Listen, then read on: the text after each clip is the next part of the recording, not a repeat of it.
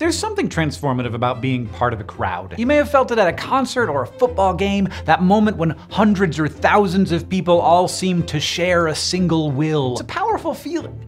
But what if it wasn't just a feeling? What if being part of a crowd actually had the power to change you into something else? Well, then you might be a locust.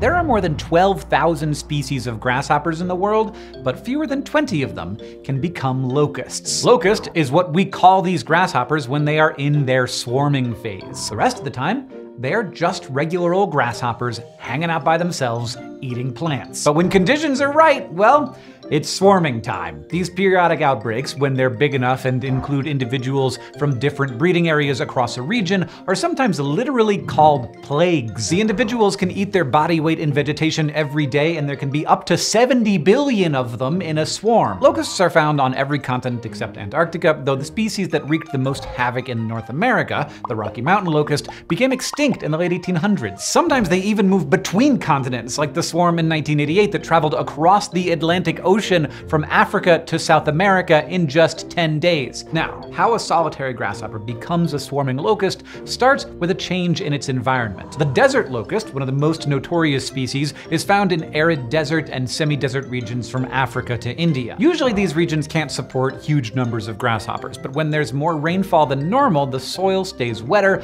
more vegetation grows, and conditions become more favorable for the grasshoppers to breed. And that means more baby grasshoppers, called nymphs, hatch hatching together at around the same time. If these nymphs are spread out across the landscape and stay away from each other, they will grow up into grasshoppers. But if they are crowded, they will transform into locusts. There's something about the sight and smell of other grasshoppers that changes their behavior, drawing them together, making them more gregarious, and starting the feedback loop that leads to locusts. Once enough of them have started to congregate, they will almost inevitably come into physical contact. These touches seem to increase their serotonin levels, the same neurotransmitter neurotransmitter that in us boosts our mood, among other functions. And the touches also produce physical changes. For example, in one study, researchers raised South American locusts in either isolated or crowded conditions. Isolated nymphs were pale greenish or brownish, eventually becoming brighter green as adults. Nymphs that were raised in crowded conditions had orange heads and dark spots on their bodies, and the grasshopper and locust phases of another species called the migratory locust look so different that Linnaeus thought they were two separate species, and it wasn't until 19 1921 that anyone realized they're actually the same one. But how does that even work? How can the DNA of a single species produce two totally different outcomes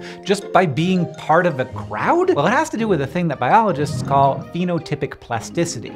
Every locust has its own genotype or set of genetic material, the DNA instruction booklet for making a locust. And every locust, or grasshopper, also has its own phenotype or set of observable traits. How you get from genotype to phenotype depends on how the DNA instructions interact with the environment. DNA by itself isn't everything, and potentially having some wiggle room there is generally a good thing. It makes organisms more adaptable to changing conditions. For some traits, the environment can only change the possible outcome a little bit, but in the case of the locust, the environment, crowded or not, matters a lot. We would say that this insect has high phenotypic plasticity and that it is density dependent. It's so extreme that it is even considered a special kind of phenotypic plasticity called phase polyphenism. This means that the two forms or phases that these insects can take, grasshopper or locust, are separate and distinct. As for what drove this adaptation in the first place, it might have to do with ancient changes in climate, at least for one of the genera in the family that includes includes all the locusts. See, in this genus, the desert locust is the branch of the family tree that split off earliest, probably around 8 million years ago in Africa. According to one study, at that time the Sahara Desert was becoming more arid as a result of the closing of ancient seaways that had linked the Mediterranean Sea to the Indian Ocean. These also potentially made the African monsoon belt more sensitive to the tilt and wobble of the Earth's orbit,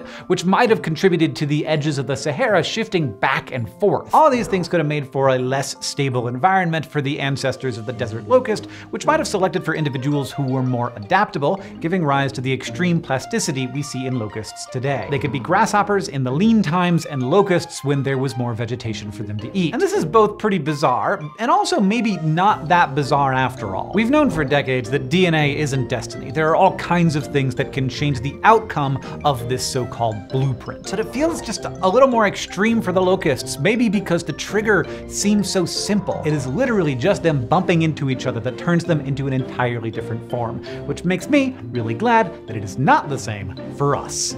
You can sign up for the Bizarre Beasts Pin Club from now through the end of March 6th. When you sign up, you will get the Locust pin in the middle of the month and the pins after that around the time each new video goes live. And you, I mean, let's be honest, want these Locust pins. Sometimes we do like cute little ones like this elephant seal, and sometimes we make beautiful works of art. We're really excited about how this turned out, so much so that we also turn them into stickers, so now you can have a plague all your own. It is also time for the mystery pin sale. So we always have like a few pins left over, so for the whole month of March, we are going to be selling the pins of Bizarre Beasts past at bizarrebeastsshow.com.